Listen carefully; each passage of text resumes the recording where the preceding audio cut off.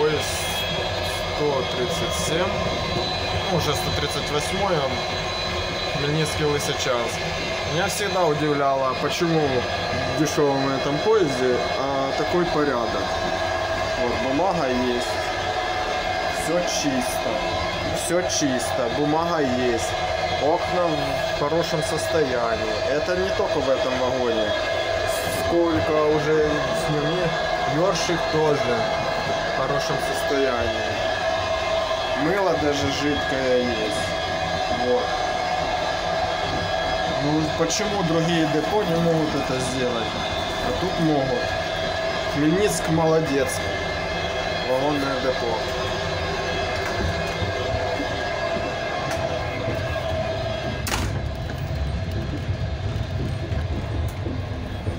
Даже есть эти одеяла.